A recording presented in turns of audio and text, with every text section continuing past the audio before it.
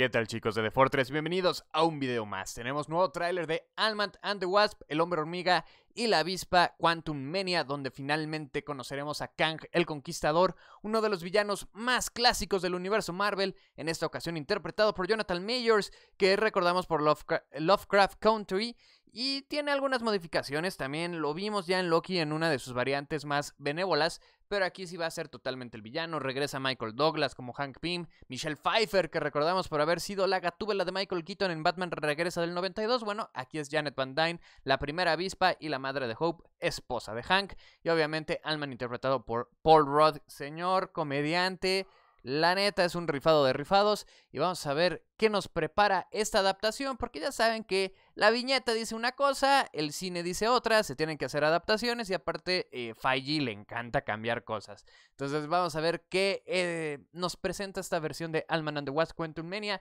y sin más, veamos el tráiler. Muy bien, una ciudad. Paul Roth caminando. Evangeline Lini ahí interpretando ya a Hope. Porque ya los héroes son celebridades en este punto del MCU. Ahí tiene la foto de la casi joven que fue recasteada por el salto en Endgame. Ahí está Michelle Pfeiffer. Ok, se van para el mundo cuántico porque querida encogía a los niños. Salió mal un experimento. Esto creo que ya es lo que se había presentado, que se había filtrado de manera no oficial y finalmente ya lo tenemos en Full HD 4K, 60 cuadros. Eso es lo que presumimos es Chronopolis, o la ciudad dentro del mundo cuántico donde Kang hizo como su, su reino. Que seguramente traerá ahí una historita ya con Janet eh, por haber estado atrapada tanto tiempo ahí casi que generalmente en los cómics se llama Stature cuando se convierte en heroína. Vamos a ver si aquí respetan el nombre. 16 de febrero. para el plan de fin de semanita del San Valentín, pues bueno, pueden ir a ver Alman and the Wasp con. Derroche de efectos, Perrito está de acuerdo. Mucho efecto especial, mucho green screen. Sé testigo del comienzo de una nueva dinastía. Que todo esto va encaminado hacia la dinastía Kang y Guerras Secretas, que serán pues, las siguientes grandes películas de Marvel que involucre a más de un equipo, o bueno, más de un personaje en los crossovers, muy a la Avengers. ¡Ah! Primera aparición de Modok, que no es una cabeza flotante como tal, pero no está mal, ¿eh? Para cómo podrían adaptar a Modok, creo que está bien. Ant-Man contra Kang. Creo que es una pelea un tanto injusta para Ant-Man.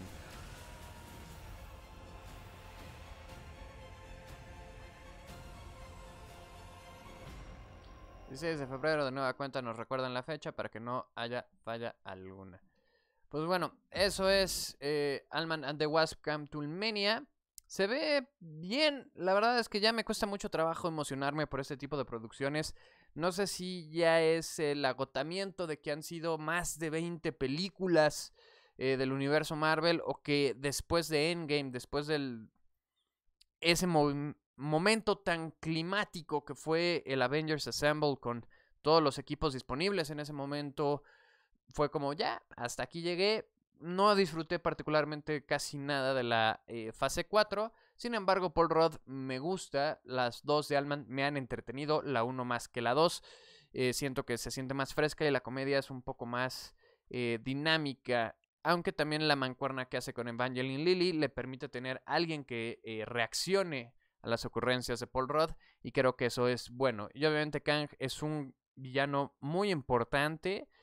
Tiene con queso las quesadillas definitivamente por ahí pueden salir otros personajillos que también vimos en la serie de Loki que van un poco más allá de la TVA o que son parte de la TVA. Ya veremos cómo lo manejan, porque el plan hasta el momento es que va a haber varios Kangs, y este solo es uno de tantos. Este puede ser quizás el Kang original, conocido como el Conquistador, que eh, suele ser el no nieto o bisnieto, sino mucho más, más, más lejano pero viene de eh, Reed Richards. El señor fantástico va a tener a, a sus hijos, Valeria y... eh, ay, se me fue el nombre de, de su hijo. Bueno, pero tiene hijos, ellos tendrán hijos, ellos tendrán hijos, tendrán hijos, tendrán hijos, tendrán hijos. Después de muchos hijos, hijos, hijos, llegamos a Nathaniel Richards, que es Kang, que inclusive viaja al pasado y parte de su tecnología es la que usa Apocalipsis para eh, hacer modificaciones aparte de sus poderes mutantes cuando todavía era una especie de faraón. Entonces hay muchísimo que hacer con Kang. Por ahí si quieren irse empapando un poquito, Avengers Earth's Mightiest Heroes, una serie animada que está en Disney Plus. Pueden checar los capítulos de Kang. Y aparte pues darle un repasón a Loki, que también ya viene la temporada 2 para que conozcan un poco más de las aventuras del TVA y por qué se desmadró el multiverso. Entonces ya no falta mucho, estamos a un mes más o menos de que llegue a cines. Y pues bueno, deja en los comentarios qué expectativas tienes, te gustó o no te gustó el tráiler. Y nos vemos pronto para más contenido de cómics, películas, videojuegos, series y de lo que se nos ocurra hablar. Cuídate, nos vemos pronto. Bye.